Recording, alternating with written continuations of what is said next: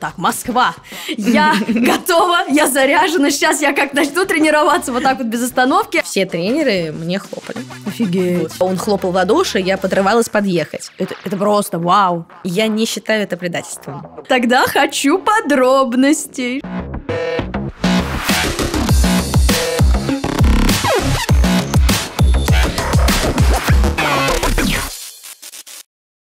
Дорогие друзья, ну что же, всем привет! Это шестой выпуск подкаста «Что там в миксте?» и, как мне кажется, самый ожидаемый выпуск, который вы увидите прямо сейчас, потому что у нас в гостях я даже не знаю, нуждается ли этот человек в представлении несравненная, легендарная Александра Трусова. Ша... Саш, привет! Всем привет! Это... Как твои дела? Расскажи нам, пожалуйста. Все хорошо.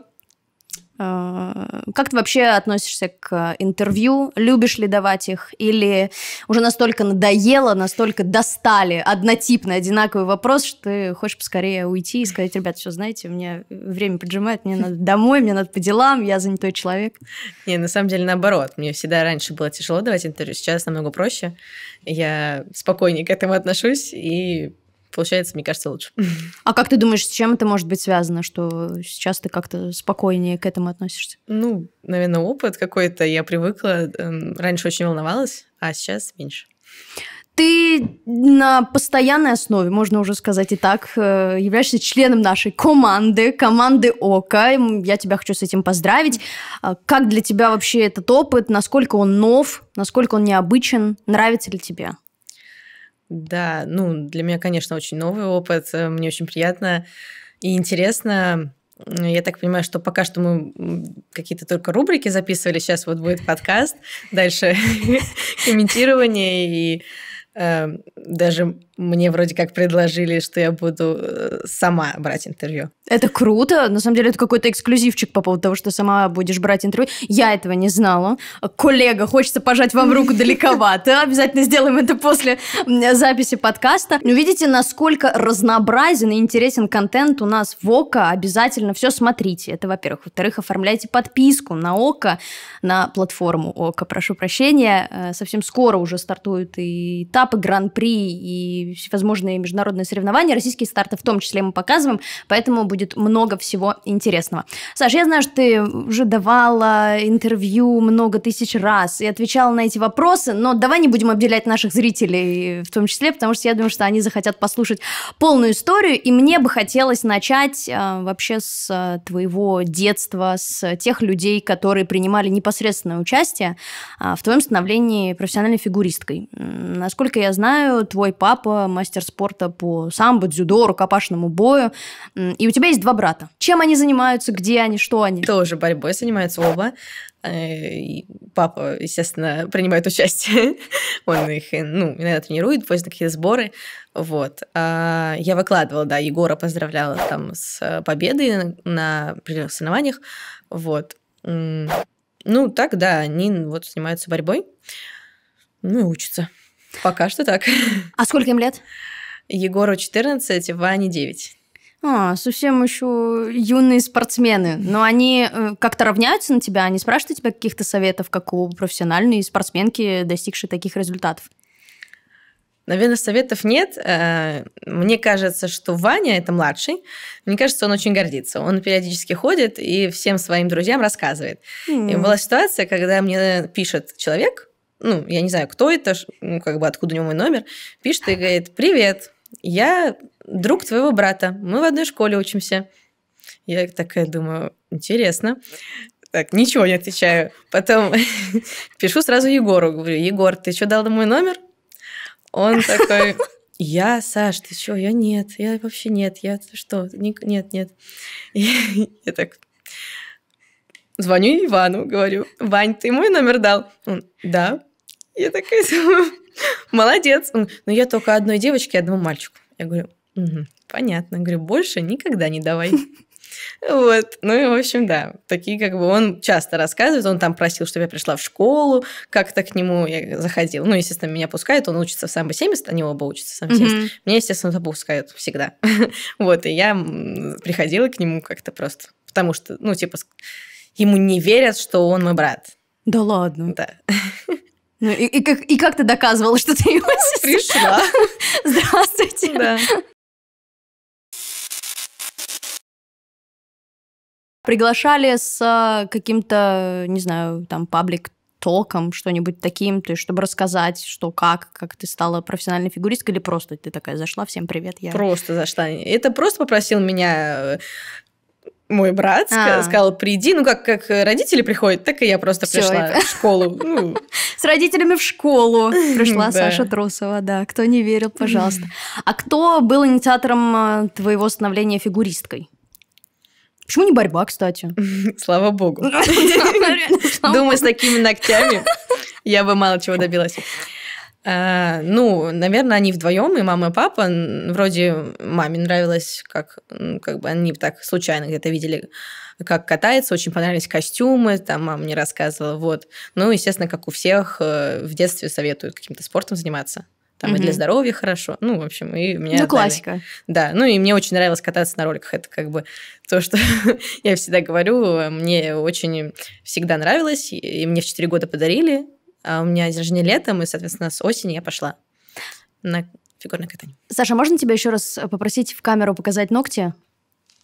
Да, это просто что-то невероятно, очень красиво, во-первых. Во-вторых, знаешь, ты произнесла такую фразу, что у меня бы с такими ногтями ничего не получилось. Мгм. Так, нет, тебя бы просто, к сожалению, бы сразу дисквалифицировали, понимаешь? Можно вот так вот вцепиться в глотку человеку. И на этом все. Но это такое лирическое отступление. Саш, ты родом из Рязани, в- до пяти лет ты каталась там, занималась фигурным катанием, потом твоя семья приняла решение переехать в Москву.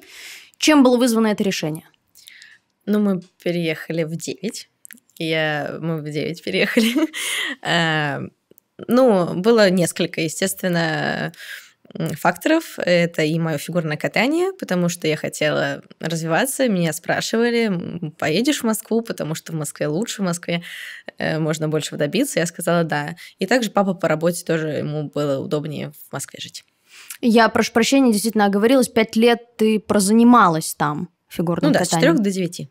Вот. Ам, следишь ли ты сейчас за тем, а, как развивается фигурное катание там? Приглашают ли тебя на какие-то мастер-классы или нет? Да, приглашают. Я иногда езжу, когда могу. А, когда есть время, вот, обязательно приеду, проведу. И также после Олимпиады приезжала. Вот. Насколько привлекает тебя вообще вся эта история с мастер-классами? Любишь ли ты э, выходить на лед, что-то подсказывать, что-то показывать? И когда был последний твой мастер-класс? Да, мне это очень интересно. Конечно, больше я люблю э, со спортсменами, которые ну, готовятся к каким-то важным там соревнованиям и уже э, много чего умеют. Вот. Но и также интересно очень на мастер-классах. Последний был в Мексике. Я ездила туда на несколько дней. Вот, и это самые длительные мои мастер-классы. Я проводила 5 часов на льду и 3 часа в зале в день. Это было подряд? Или Да. какое, какое было у тебя расписание? Вот ты проснулась. Я просыпалась там очень рано, потому что э, разница во времени, то есть это часа в три. Ам, в шесть м, я уже была на катке, и, э, получается, в 7 я уже каталась сама до 7.30, 7.45. Мгм. В 8 у меня уже начинались мастер-классы. Ну, получается, с 8 до 9, потом 15 минут перерыв. Там с 9.15 до 10.15, 15 минут перерыв. Так 5 часов подряд. Потом 30 минут перерыв. И еще, Спасибо. и еще подряд 3 часа ОФП. Ну, там не было перерывов, потому что, ну, я как бы сама сказала, что не надо. Мгм. Лед мне нужен перерыв, потому что я не могу долго в коньках находиться, даже если они завязаны просто не для того, чтобы кататься самой, а просто находиться. Мгм. Я все равно не могу, у меня очень затекают ноги. А на ОФП я спокойно могу вести его подряд. Вот. Поэтому да, поэтому было ну, почти подряд 8 часов. И потом вечер как бы свободный. Идешь куда-нибудь там, ну, в 4 где-то, я в 5, 4, 4 в 5 заканчивала. Мгм. И мы дальше там гуляли, там в такой центр ездили. А так три дня, потом я выступала, у меня было два выступления. Соответственно, поэтому я каждый день каталась с утра. просто попросила лед, потому что там не было льда для меня, просто я должна была тренировать, а потом выступать. Ну да. Так, конечно, я, ну, мне было тяжело. Э, вот. И я поехала выступать, и это все было наоборот. Я встала также в, там, в 3-4 утра, mm-hmm. а выступала я в 9 и в 11. О май гад. Господи, а я правильно понимаю, что вот все мастер-классы, ну, тренировки на льду в зале ты вела на английском языке? У меня был переводчик, э, с, ну, я на русском говорила, она на испанском переводила. Вау.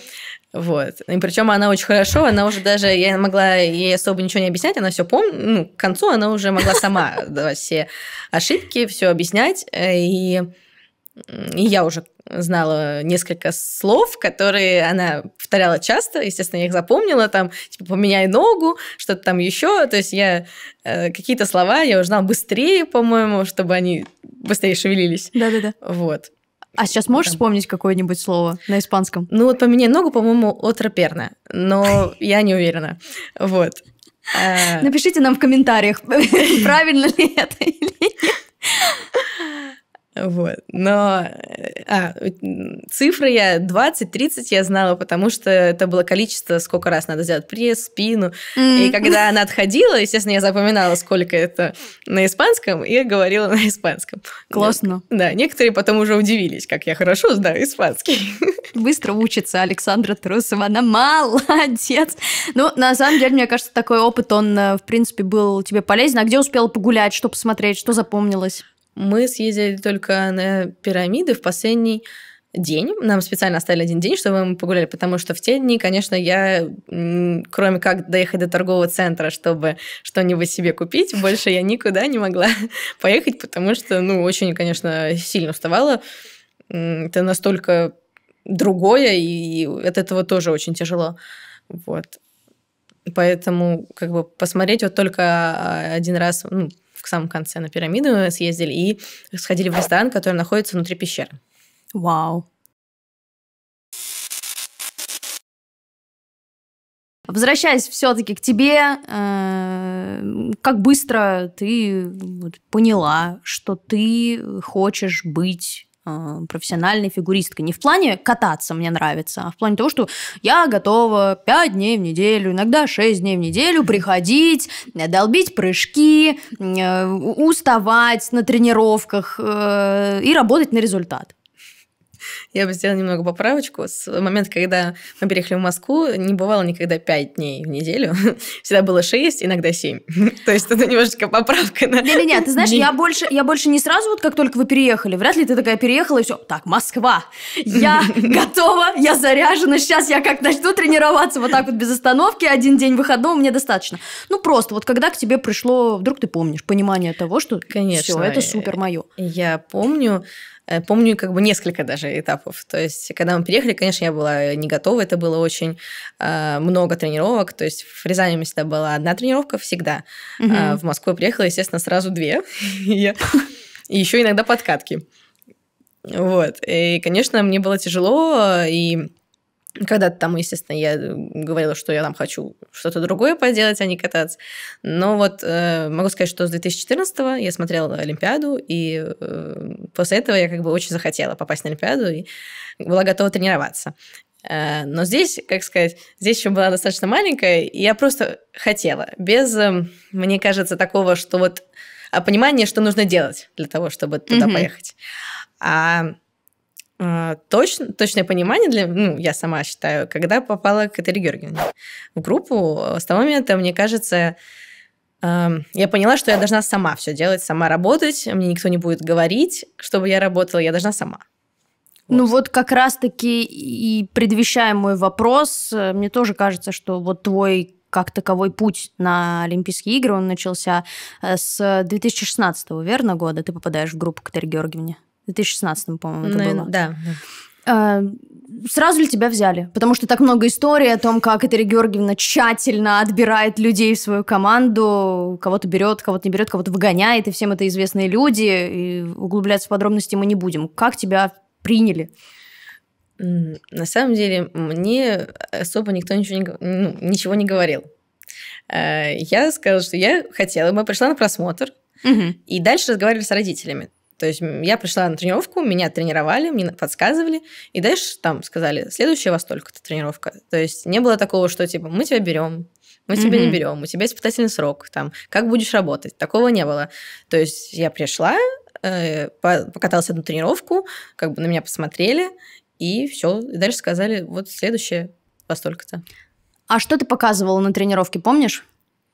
Я помню, что я прилетела с отдыха, я 10 дней отдыхала вообще целиком, полностью. При, прилетела и говорю, все, я не пойду типа туда на тренировке, я пойду уже только к Таре Георгиевне. И они, ну, родители сказали, хорошо. Mm-hmm. Типа мы подошли, опять же, родители подошли, сказали, ну, можете там посмотреть. Вот.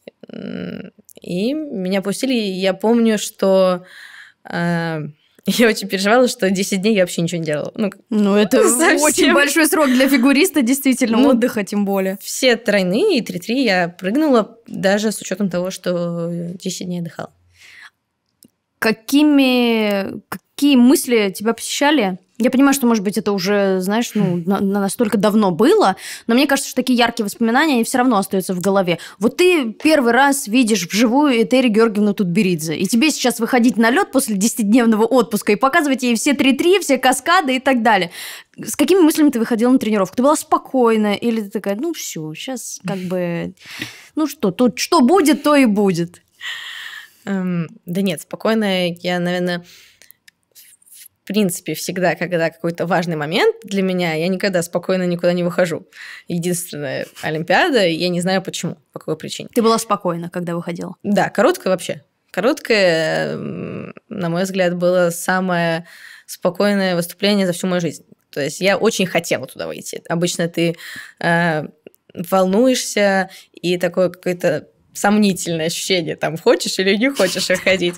А на Олимпиаде я именно ждала. Мне эм, как ну, считала, сколько там минут до выхода, что вот я уже хочу. Предвкушала. Да. Такое ощущение, что даже если брать короткую, что даже того времени, которое я находилась, оно не хватило. То есть на том льду, ну, как бы, не знаю, какое-то особенное ощущение, на мой взгляд. Вот. А так, да, я всегда э, волновалась, волновалась перед первым, первой тренировкой. Вот. Ну, как-то так, наверное. Но я очень много знала спортсменов, кто там катается, поэтому мне комфортно было. Как раз-таки у тех, кто находился с тобой в группе, насколько дружелюбной была атмосфера в группе? Я, наверное, могу сказать, что она была очень рабочая и заряженная. То есть все были всегда заряжены на работу. Наверное, вот так. И плане дружелюбности я даже не понимаю, что это значит. Для как бы все хорошо общались, причем независимо от э, титулов. Ну, то есть и все, кто уже добились результата, общались хорошо со мной, и просто моего возраста. То есть ну, я, знаешь, на самом деле, от чего отталкиваюсь? Отталкиваюсь от твоих же слов. Ты очень часто говоришь э, такую довольно сильную фразу о том, что в спорте друзей быть не может. Да? Часто говоришь мне о том, что да нет, все ко мне супер относились, мы все были заряжены и так далее. Когда ситуация начала меняться? Нет, это просто две разные вещи. Для меня друзья это намного больше, чем хорошо относиться. Ага.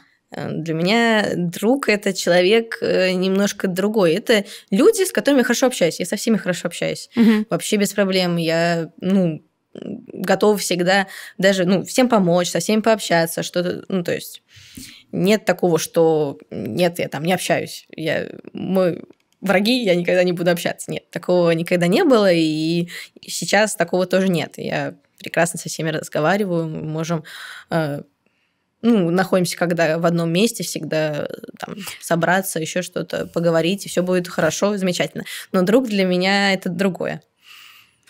А вот э, по, по ходу тренировочного процесса, да, но в любом случае все равно каждая девочка, да, какой бы сильной она ни была, и все равно бывают моменты, когда она переживает такие не самые простые времена, и люди, с которыми ты находишься чаще всего рядом, это как раз-таки партнер, партнеры по команде, да, то есть э, те же девчонки, там, Аня Щербакова, не знаю, Камила Валиева, Даша Усачева, Неужели так вот за все это время твоего пребывания у Этери Георгиевны не получилось, не то, что не получилось, а не было желания найти какой-то коннект, чтобы вот выйти с тренировки, допустим, да, ну, у меня вообще ничего не получается, я, я не могу, я устала. Ну, вот с кем-то, знаешь, просто э, вот так вот, просто поделиться вот этим. Или все-таки были такие люди? Так, повторюсь, со всеми. Мы могли все сесть в раздевалке. У нас же одна была раздевалка. Mm-hmm. Ну, то есть э, св... ну, по отдельности мы начали раздеваться там вот последний год-два. Какая фраза? По отдельности мы начали раздеваться последний Переодеваться, хорошо. По отдельности мы начали переодеваться последний, там, может быть, год даже, наверное, после Олимпиады. А так мы всегда были в общей раздевалке, то есть там старшие девочки, предположим. И мы всегда могли выйти и сесть, и каждый там скажет, что конкретно там у него может болит, может устал. Могли, наоборот, перед тренировкой там вышли, сейчас вот надо прокатывать, а мы там все устали. Можем тоже поговорить об этом. И я говорю, мы могли обсуждать, могли разговаривать, и сейчас можем. А, вот. Но друг – это другое. Друг э, – это, на мой взгляд, очень близкий человек. И так, таких очень сложно искать, и они очень долго, на мой взгляд, на такой грани, друг или не друг. По прошествии уже такого количества времени появились ли у тебя подруги из фигурного катания? Да. Назовешь их? Не хочешь, не называй. Я на данный момент считаю, что их две. Угу. Вот. А, думаю, что все догадываются, кто это. Вот. А, поэтому на данный момент не считаю нужным их называть. Класс. Девчонкам привет. А, тебе спасибо за такие слова. Это очень трогательно. Ну, правда. Двигаемся дальше. Весной 2020 года ты переходишь э, в группу Евгения Плющенко. В чем заключалась причина твоего перехода? Что не понравилось? Что, что было не так? Что заставило э, так кардинально поменять свою спортивную жизнь? Я сейчас отвечу. Я думаю, что это будет ответ на все мои там, переходы к одному тренеру, возвращение обратно и так далее. Отлично. Эм, я не считаю это предательством. Никогда не считала и не считаю сейчас. Я прекрасно отношусь ко всем тренерам, которых я тренировалась. Я могу подойти к любому, я уверена, что-то спросить, попросить поговорить, и мне помогут. И также они в любой момент могут мне что-то написать, и я прекрасно все пойму, там тоже сделаю все, что нужно. Э, вот. Я считаю, что это развитие. Э, развитие в плане, что у каждого тренера свой подход, и спортсмен, э, ну, если у него есть такое желание, имеет право попробовать в разных тренерских штабах и решить, где ему комфортнее, и в любом случае набраться того опыта, которого не было там, в другой команде. Mm-hmm. То есть очень очень сильно различается подход, и я не говорю, что где-то лучше или где-то хуже. То есть он просто разный. И когда ты совмещаешь два разных подхода, получается уже не из одного тренерского штаба у тебя какие-то знания, а из двух. Соответственно, ты становишься сильнее. Вот. Я считаю, что это так. А можешь рассказать, чем отличается тренировочный процесс одной группы от другой? Можем мы разговаривать еще дней пять, ну, не останавливаться. Не, они абсолютно разные. Причем, вот, ну, на данный момент я могу сказать, что я в трех э, была, и ну, все да. разные. То есть по отношению к спортсмену, по э, подходу именно к тренировочному процессу. То есть, если брать там какие-то там прокаты, там задания и так далее. То есть у всех разные. Там, ну, у Терри больше там на, на похоже на соревнования в плане э, мы каждый день как будто на соревнованиях у mm-hmm. нас каждый день э, есть распечатка, которую ты смотришь и знаешь свои ошибки там. У Евгения Викторовича больше на технику в плане есть э, очень много подводящих упражнений, которые я никогда не делала. То есть когда я это начала делать там, э, он думал, что я никогда в жизни не могу прыг... не смогу прыгать ничего, потому что я ну не умела делать. Э, эти подводящие упражнения. Угу. Абсолютно, то есть он на меня смотрелся и говорил, как ты прыгаешь четверные, если ты не умеешь делать вот это. То есть вот это типа с первой стадии подготовки к четверному, а ты типа умеешь четверной, но не умеешь первую стадию. То есть вот. У Светланы Владимировны абсолютно другой подход именно к человеку, ну, то есть к спортсмену. Мгм. Вот. Э, Тоже очень для меня необычно, когда ты можешь просто разговаривать. Ну, типа, не только про спорт. Можешь просто там- Общаться на любые темы, да? Да. И если даже ну, на данный момент, если даже я выйду одна на лед, я буду прекрасно понимать, что мне нужно, чтобы сделать, ну, что-то наработать или что-то, чтобы у меня получилось. Попробовав столько э, разных э, методик э, работы на льду, вне льда, какая оказалась для тебя, вот лично для тебя, какая из них оказалась ближе всего? Вот, по состоянию, по настроению, потому что это же тоже очень сильно влияет на результаты на льду. Вот чья, чья техника тебе была ближе? Я считаю, что, по крайней мере, э, я и у Этери Георгиевны, и у Евгения Викторовича прыгала 5 четверных, выкатывала. То есть, да, на соревнованиях я выкатала только в олимпийский сезон, а так э, я на тренировках катала и когда находилась у Этери Георгиевны, и когда у Евгения Викторовича, то есть я на тренировках прекрасно катала с пятью. Все в один голос твердили, э, и, наверное, есть те, кто продолжает это делать, э, то, что Трусова способна побеждать только под руководством Этери Тутберидзе. Тебя не задевают такие слова? Согласна ты с этим? А, Нет, не задевают. И, по-моему, в год, когда я была у Евгения Викторовича, я доказывала, что я могу и в другой команде. Я выигрывала соревнования, особенно которые были в начале. Там, да, я могу сказать, чемпионат мира у меня не получился совсем. Там все пошло изначально с короткой программы, не по плану, но готова была я очень хорошо. Я прыгала и аксель, и 5 четверных на тот момент, и все это видели. Поэтому думаю, что в тот год я доказала, что нет. А напомни, что не так э, пошло в короткой. Я хотела очень кататься с акселем, но в последний момент мы решили убрать. И меня, конечно, это очень сбило. Я ошиблась на каскаде. Ну, то есть я просто степ-аут с луца сделала с тройного, и была 12 Слушай, точно. Да, Господи, это как будто было так Давно очень, да. Вообще, что? да. Но я просто, да, я человек, которому нельзя убирать, особенно в день старта. И уже была настроена на тот контент. Ну, кстати говоря, ты об этом а, и в интервью говорила, что даже у меня есть э, цитата твоя.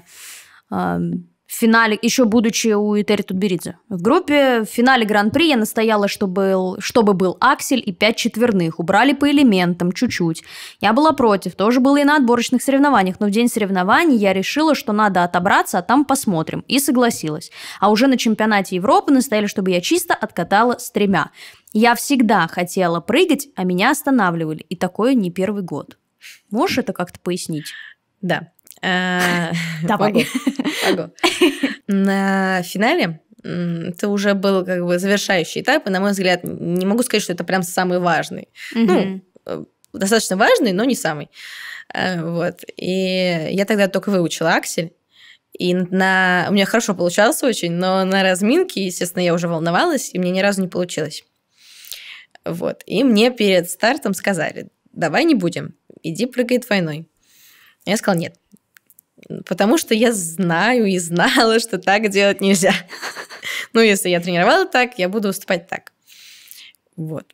Э, Соответственно, это, наверное, слова, сказанные на Европе, я думаю. Поэтому, да. Дальше был чемпионат России, где мне сказали, что давай уберем, эм, значит, э, один четверной и аксель. Прокатаешь э, так и отберешься, а дальше, типа, пожалуйста, оставляй сколько хочешь. Мгм.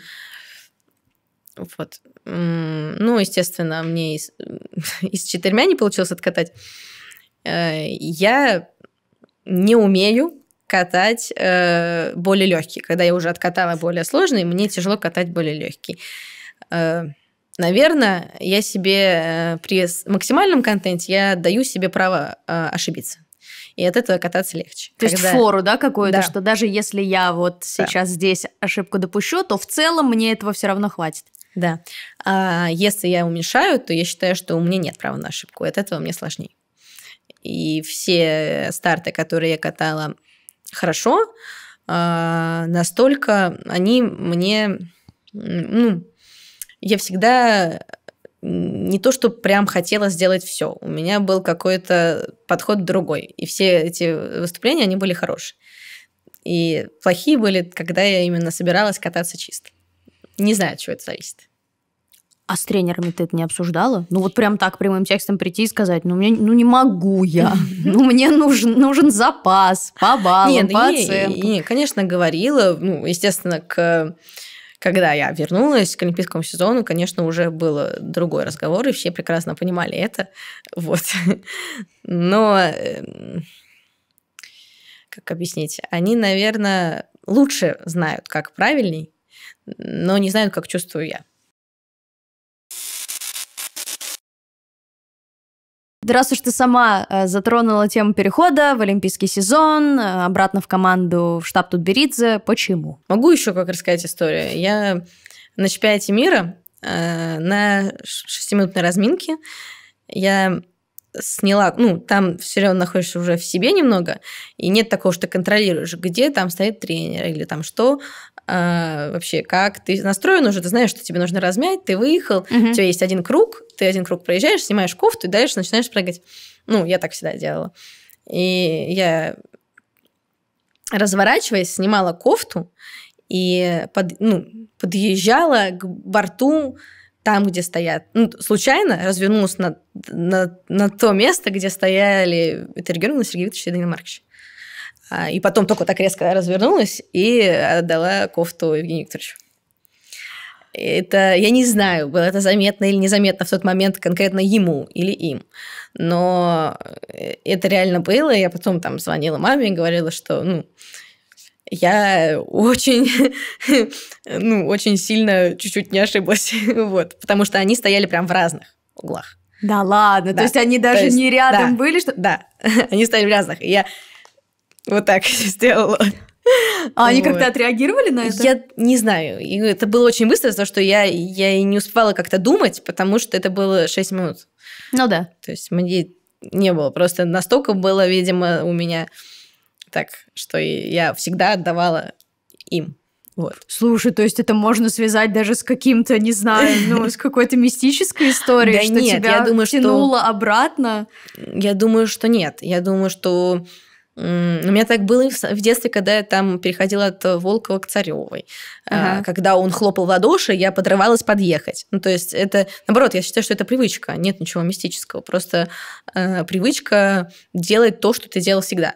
Просто в момент, там я была маленькая, понятно, а тут в момент, когда ты на стрессе, ты немножко не контролируешь, что ты делаешь, я думаю. Ну, то есть есть такое, что ты настроен на определенное, а на вот эти вот э, какие-то менее важные, э, как снять кофту и отдать тренеру, ты уже не думаешь, что нужно сделать. Я думаю, что в этом. Так это можно связать как-то или нет? Твое возвращение в группу Нет, конечно, мо- и кон- кофту. вот этот случай с кофтой. Конечно. Не, конечно, можно отчасти. Ну, наверное, наверное, на тот момент э, мне так нужно было сделать. История класс. Вот. Вообще. История. Никто не знал, наверное. Ну это, ну это круто, правда. Бывают же такие моменты в жизни, когда вот так вот это все. А, с какими словами тебя принимали обратно? Да, не было каких-то прям... Могу сказать так первое. Тебе очень идет рыжий. Я же тогда перекрасилась. А, я есть... перекрасилась и потом перешла. И если прям про первое говорить слова, то очень идет рыжий. А это я могу сказать. Ну, остальное mm-hmm. это уже более как бы личные какие-то. Ну, в плане не было ничего, каких-то разговоров серьезных. Просто как бы поговорили, и я вышла на тренировку, все как бы вернулось как было примерно. А что до твоих собственных ощущений? Вот ты выходишь на лед э, по возвращении в группу. Чувствуешь ли ты себя так? Я дома или нет? Ну, все равно немножко по-другому, конечно чувствовалось, но более привычно. Ты идешь в тот же зал, в котором ты был, дальше на тот же лед, а, где, в принципе, все осталось так, как и было, когда, как бы, ну, год я не каталась, а пришла все то же самое. Как... Ну, не знаю, на, на самом деле, да, очень быстро я э, привыкла обратно и не знаю. Каких-то у меня, у меня, наверное, не было никогда таких вот, что вот я дома, я не дома. Я, у меня всегда это работа, это не дом. Mm-hmm. Это работа, ты туда приходишь. А дальше уже, ну, и больше все равно, больше же не каток, не что, больше люди, которые, с которыми ты тренируешься. Поэтому все относились ко мне так же, как и относились до. И в этом как бы плане ничего. Все, мы тренировались так же. Ничего такого не было.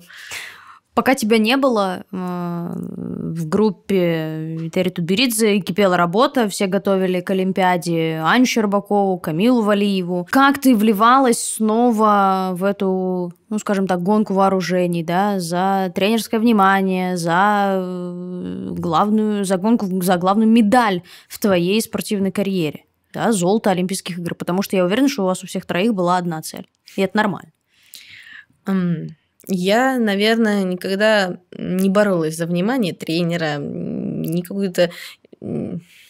А, конечно, конкуренция, она тебя все время подстегивает работать больше, но особенно с переходом, где у меня не было конкуренции, я как бы поняла, что мне отчасти может быть чуть-чуть сложнее, но я могла и так работать. То есть, э, и э, зная, что я могу и так, и так, не было, что я что-то боролась за что-то. Нет, я делала как бы свое дело, э, тренировалась, э, все восстанавливала. И с первого выхода даже э, с отпуска угу. я уже как бы естественно знала, какой будет контент, и знали все тренеры, и сразу готовила. В первый же день я прыгала четверной луц, выезжала. Через два дня, по-моему, после выхода на лед я уже вкручивалась в аксель. Там через две недели уже прыгала четверной флип. Боже, ну, семимильными шагами просто. И постепенно, прикинь. да, первый прокат э, с пятью четверными чистый э, я сделала в конце июля. Я откатала в конце июля. Что? Э, да, и поэтому а, ну, это был первый прокат, и все тренеры мне хлопали все они сидели и все хлопали. Вот. Эм. И поэтому я точно знала, сколько нужно мне времени, чтобы вкатать 5 четверных. Но, к сожалению, после того, как я откатала с 5 четверными, на следующий день я подвернула ногу. Вот. И дальше уже, конечно, было сложнее. А можно говорить о том, что твоя самая лучшая форма, вот ты чувствовала, что ты по физике лучше всего чувствуешь вот в, во время подготовки к Олимпиаде? Или нет? нет? Нет, а самая Почему? лучшая была на прокатах. Самая лучшая была до прокатов, потом я подвернула ногу. Mm-hmm. Но из-за того, что я как бы подвернула, я ее не сразу сильно повредила, а мне достаточно было там дня три, я не каталась. А потом просто, я могу сказать, что я до сих пор заматываю ногу. Э, я, да ладно. Я подвернула ее, получается, два с половиной года назад. До сих пор я катаюсь в тейпе. Вот. Ну, я не знаю, это может уже с головой, но я даже не делала МРТ. Э, Почему? Не проверяла. Потому что на тот момент мне было важно выступать на Олимпиаде, я для себя решила, что все зажило. Не, ну а сейчас? А сейчас, ну... Ну, заматываю, заматываю. В принципе, да. Вот, поэтому... Самое лучшее, я считаю, на прокатах. Я тогда прыгала вообще все, мне было очень легко. На Олимпиаде это как раз-таки вот этот минимум два месяца сработало я четко просчитала, сколько мне нужно. Ну, вообще, Олимпиады, мне кажется, это про преодоление себя. Я не знаю ни одного спортсмена, по крайней мере, в фигурном катании, который бы приехал и сказал, а, мне ничего не болело, я вышел, мы готовились нормально, все, все сделали, как было по плану. Ну, всегда какие-то трудности возникают, на то это и главный старт, наверное, в карьере любого спортсмена, хотя многие со мной не согласятся. А, вот уже по прошествии такого количества времени ты не жалеешь, а вот том, что сделала все-таки вот эти пять э, четверных прыжков. Может быть, если бы, да кабы, облегчить контент. Нет. Все было бы по-другому. Э, абсолютно не жалею. Э, могу сказать, что мне также предлагали э, после того, как я упала с акселя между короткой производной, предлагали убрать сальхов. На что я сказала, конечно же, нет. Во-первых, я считала, что это единственный шанс выиграть единственный сделать 5 четверных. Вот для меня было это так, выглядело просто, что я должна сделать 5 в любом случае. На момент проката, когда я сделала 4, э, и заезжая на пятый четверной, я честно думала о том, чтобы не прыгать. Но по, итогу я решила, что я никогда в жизни себе не прощу.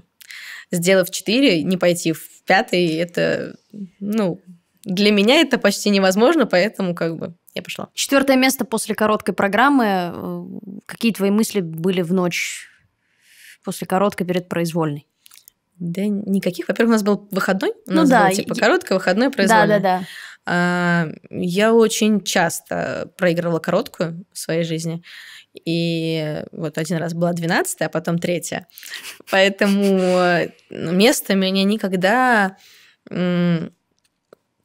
ну, не смущало в короткой программе. То ага. есть, э, да, хорошо, когда у тебя там есть, э, ты там выигрываешь, у тебя есть запас, конечно, так спокойней, но всегда можно догнать. Я всегда считала, что произвольный можно абсолютно легко догнать, тем более, что я знала, какой у меня контент.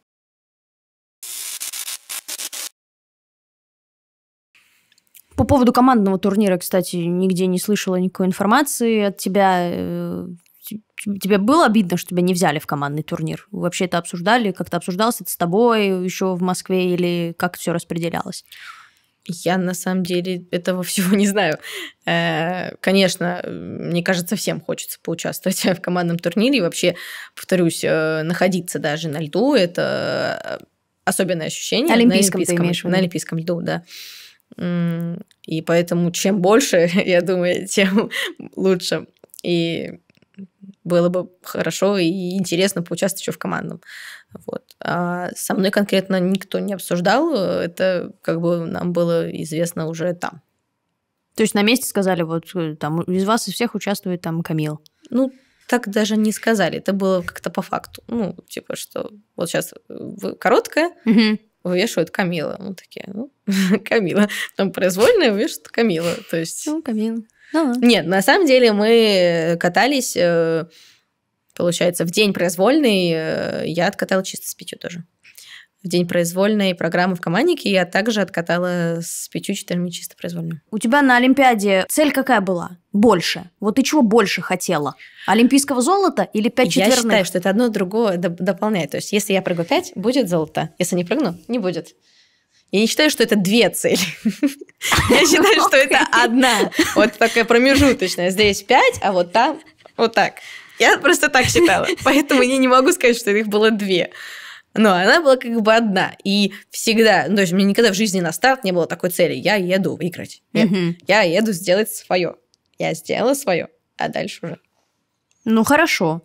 Э, твоя цитата. Я считаю, что первое место это ты выиграла, все остальные это по-любому проиграл. Для тебя второе место на Олимпиаде это проигрыш? Да. Ну, а как можно, что можно сказать? Я выиграл серебро? Я да. выиграл второе место. Я выиграл серебро. Серебряный призер Олимпийских игр. Ну, и это вообще, в принципе, я считаю, что это, видимо, ну, как это есть, э, ты когда кидаешь дротики в шарики, так. у тебя есть, ты выиграл, а дальше поощрительные призы.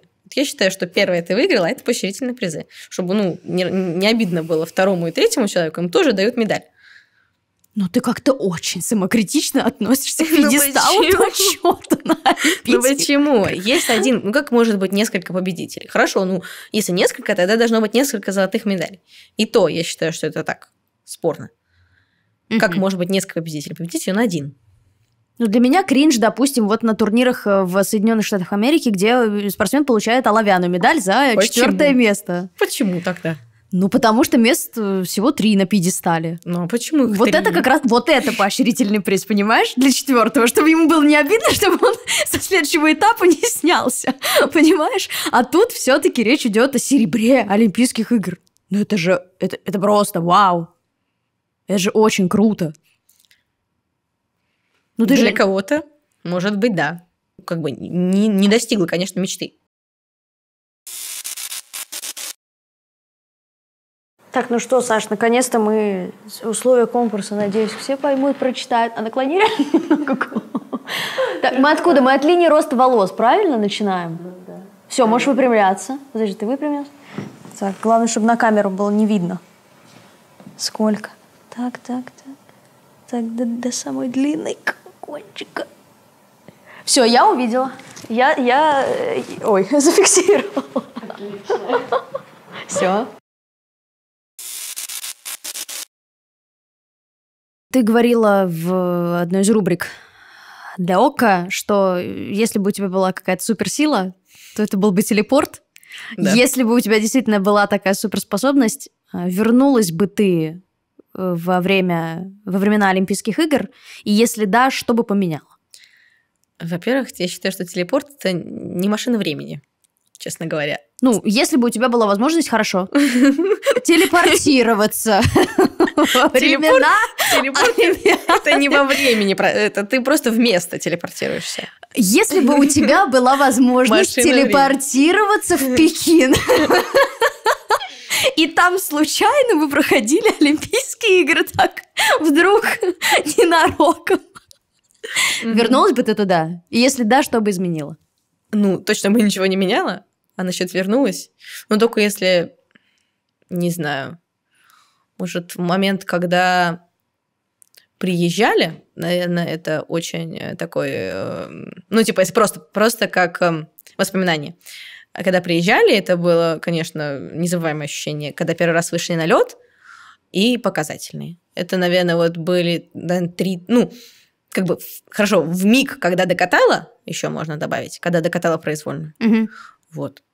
Ну, то есть вот четыре, как бы, таких, наверное, запоминающихся мне момента, да, возможно, я бы вернулась. Ну, конечно, ничего не меняла бы, но вот я бы вернулась, когда приезжали, когда первый раз на лед вышли, в момент, когда докатала произвольную, и когда были показательные. Показательные вообще тоже прикольно очень проходили. Я там до последнего просилась, чтобы меня пустили на мужскую тренировку, никто меня не пустил. Ты хотела посоревноваться ну, с я прыгала, ребятами? да, не соревноваться, так попрыгать с ними, типа, в... просто вместе, типа, параллельно. Все. Никто не разрешил? Ну, там правила. Регламент жесткий, наверное, да, да как обычно. А, вот из всех этих четырех ключевых моментов, которые ты перечислила, какой был самым ярким? Ну, конечно, когда я прыгнула. Ну, там, наверное... Произволка, да, все таки Да, конечно. Там... Ну, наверное, это не описывается словами никак.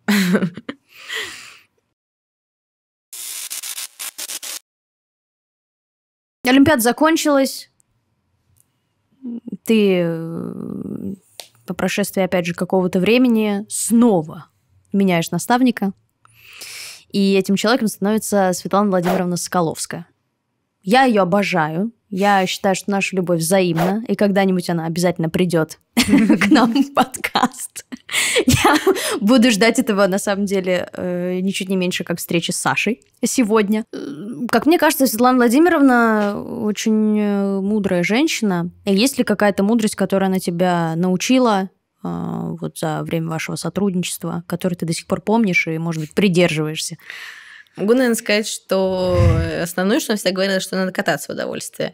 Наверное, в моей жизни часто было, э, я каталась для чего-то, там, для достижения цели, там, для того, чтобы э, прыгнуть вот это, для того, чтобы прыгнуть вот это, для того, чтобы откатать чисто. Угу. Для удовольствия, наверное, у меня было редко такое, что вот именно я люблю фигурное катание. Если что. Поправочка, ремарка. Поправочка, да. Я люблю фигурное катание, я люблю кататься, но в удовольствие я считаю, что это другое. Это когда ты просто наслаждаешься тем, что ты находишься на льду. Вот. Наверное, вот катаясь сейчас, э, я катаюсь в удовольствие. А катаясь тогда, я каталась для результата. Я, выходя на лед, я всю энергию, которая есть внутри меня, я ее отдаю людям, поэтому мне тяжелее кататься. То есть я выхожу, и вся моя энергия э, расходится зрителям. И, соответственно, мне даже ну, просто физически тяжелее катать программу, чем на тренировке. А другие люди, если они, наоборот, собирают эту энергию, соответственно, на старте им легче кататься. А у тебя до сих пор так? Вот сейчас да. даже выходишь, да? То есть да. даже выходишь на шоу, и да. все равно? Да, я э, поэтому мне сложновато кататься подряд шоу или там два шоу в день, ага. потому что я не успеваю ее обратно накопить Вау. энергию. я выхожу, ее отдаю, а дальше надо где-нибудь ее взять. вот. И как ты восстанавливаешь силы? Да никак. Ну, дожидаюсь. Да никак. Дожидаюсь. Как бы, ну, как-то собираешься все равно всегда. Э, ну и опять же, все равно видишь э, людей, которые пришли и как-то это подстегивает, да? да наверное, где-то из глубины собираю, все оставшееся, а потом, когда выходные, вот тогда обратно восстанавливаю. Класс, класс. Наверное, так.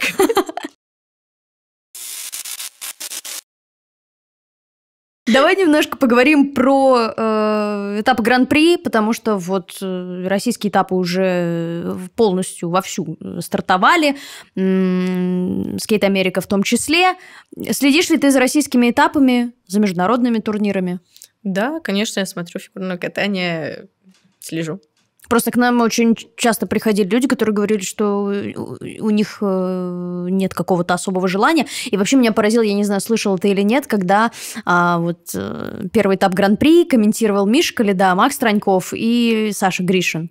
Угу. И Миша Калида э, в начале эфира признался, что он не смотрит фигурное катание, угу. до этого никогда этих людей на льду не видел. Я надеюсь, я не, не соврала и не приврала в контексте. Ну, то есть человек сидел и просто заново открывал для себя фигурное катание. А на вопрос как это вообще могло произойти, Миша ответил, что он интроверт, он э, просто, у него это отнимает все силы. Но я помню, ты была на прокатах, по-моему, да, ты даже на да. трибун смотрела. А, на этапе Гран-при в Уфе э, Аня Фролова, э, ставшая серверным призером соревнований, вышла в твоем мерче в микст-зону. Стоит ли за этим какая-то история? Как хорошо вы общаетесь? Э, хорошо, мы общаемся. Мы были на сборах вместе, потому что команда Светланы Владимировны и Евгения Владимировича вместе ездят на сборы. Да-да. Вот. И получается, мы были... Ну, я на Алтае не полный сбор была, но была там мы были вместе, потом в Ереване, потом в Кисловодске, соответственно, вот. Но я много кому... Есть даже видео, я не знаю, или кружочки, я записывала, как мы пошли в выходной день кататься на квадроциклах, и все были в моих кепках. Все абсолютно. Я даже сняла просто потому, что это, ну, прикольно. Вот, ну так, да, я им приносила ну, самые, как бы, на мой взгляд, э, нейтральные, прикольные, такие, которые всем подходят. Вот это черные кепки и черные худи. Вот. Мне очень, конечно, приятно, что она так вышла. Она еще и сказала, что и счастливая. Что у нее их две, она даже сказала. Она Это, говорит, кстати, у меня две знаю, кофты, две. и обе с собой. То есть вот настолько человек переживает, что если вдруг на одну что-то там прольется или капнет, и дай бог, у нее есть запас. Вот, это я, конечно, не знаю, почему у нее две. Надо выяснить. Может, она покупала? Может, хотя... купила, да, потом... Не знаю, в общем. Я всем точно там худи, кепку точно дарила. Вот. А, ну, и мне кепки вообще многие носят, причем прям часто, то есть там я могу просто где-то заметить, они просто сфотографировались и уже там в кепках, просто там приезжают на шоу тоже в кепке мои. То есть, ну, она, правда, удобная, как все, все говорят, что прям вот. А, ну, и, конечно, мне очень приятно. Ну, я ей как бы написала, что мне очень приятно. Спасибо большое. Ну, это правда выглядело очень трогательно в микс-зоне. Если что, я ее точно не просила. Лично ее решение. Ну, учитывая то, что вы общаетесь и были так много на сборах, мне кажется, это вообще не удивительно. И мерч прикольный. Обязательно досмотрите до конца, вас ждет сюрприз. А, а что вообще входит в мерч? Что ты выпускаешь? Кепки, футболки? Худи, э, рюкзаки разные, маленькие, большие, сумочки для, ну, там, для всяких... Ну, а шоперы есть шоперы? Есть шоперы. Мне надо. Я прикуплю. Шоперы. Шоперы есть, сумочки просто есть для, там, для деток. Ну, этот больше, наверное, все-таки... Ну, сейчас еще стали делать и для взрослых что-то, а так больше был для детей, потому что там это все с собачками было.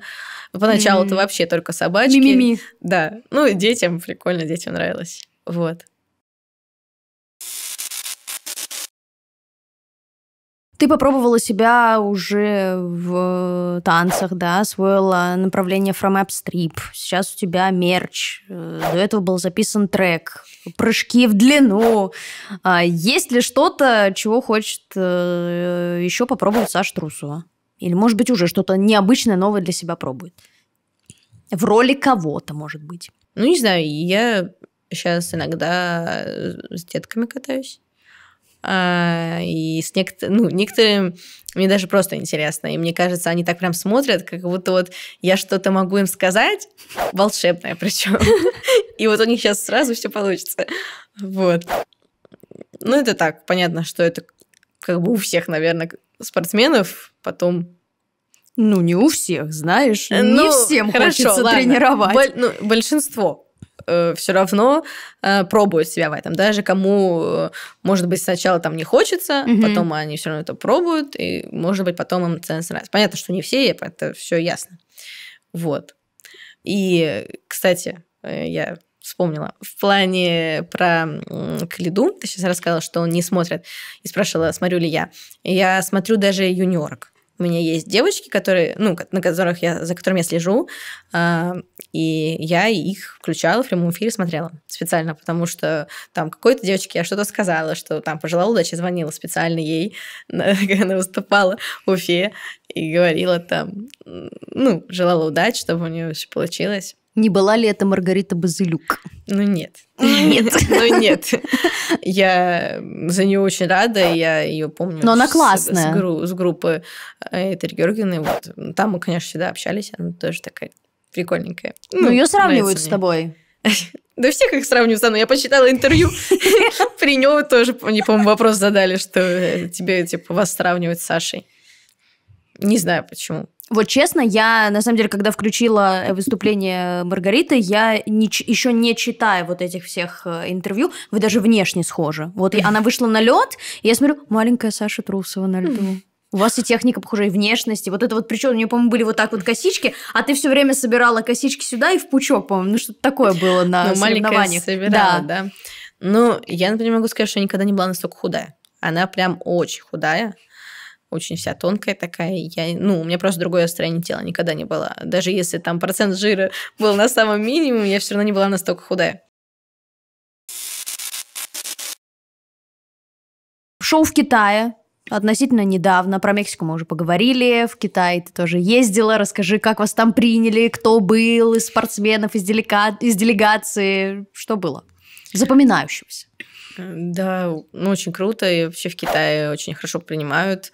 Всегда толпы народу и в аэропорту, и в отеле, и на катке. Все фотографируются. Ну, много было. А, Мне очень напомнила э, эта поездка как на Олимпиаду. И вообще на соревнования на Олимпиаду, потому что вся федерация была, спортсмены примерно те же, кто был на Олимпиаде. И мы так туда летели, и говорю, блин, вот прям очень напоминает поездку на Олимпиаду.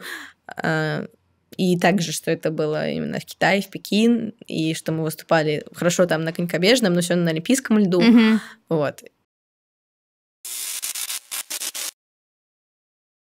Саш, чего хочешь ты по окончании спортивной карьеры? По-моему, мы не обсуждали вопрос моей окончания карьеры. Не обсуждали. Это так, просто вопрос воздух. Ну Вот, когда ты завершишь карьеру? А, когда я завершу карьеру? Ясно. Да я не знаю. Нет такого, что я что-то запланировала или еще что-то. Я живу сейчас и думаю постепенно.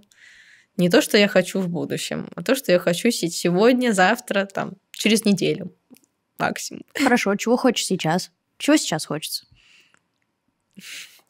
Сейчас мы поедем в Санкт-Петербург на выходные. Я могу это сказать. Мы, э, я поеду. Тусовка! Я поеду на машине. Вау. Втроем, мы втроем с девчонками поедем на машине в Санкт-Петербург. Ну, я вообще очень люблю машине. И теперь я могу поехать на своей машине в Санкт-Петербург.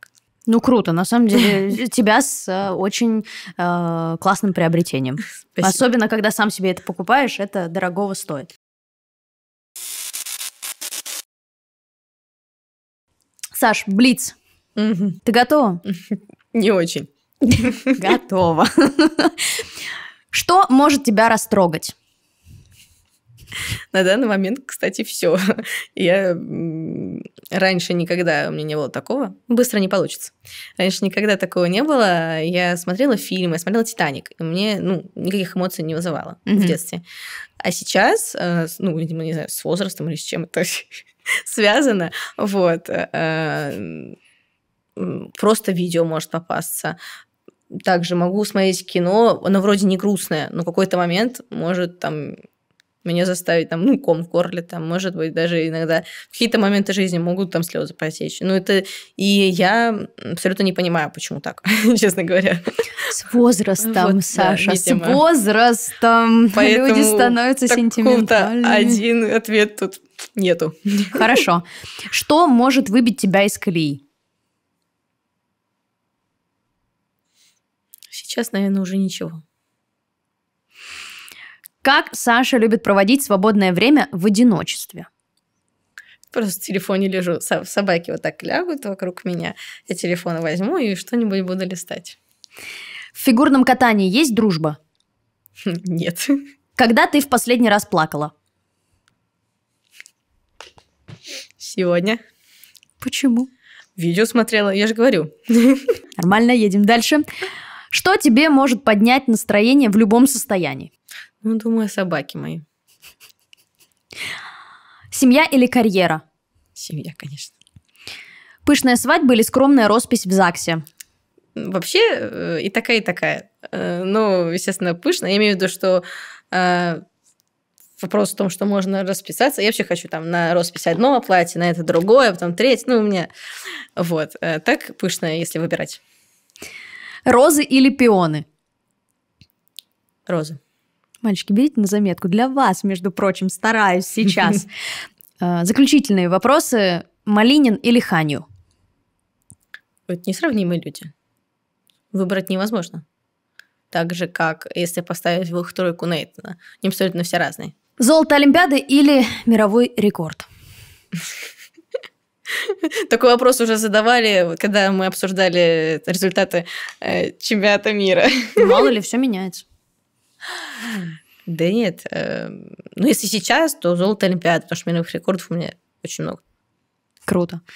Саш, переходим к конкурсу, угу. долгожданному, обещанному, который мы анонсировали еще в, в середине выпуска.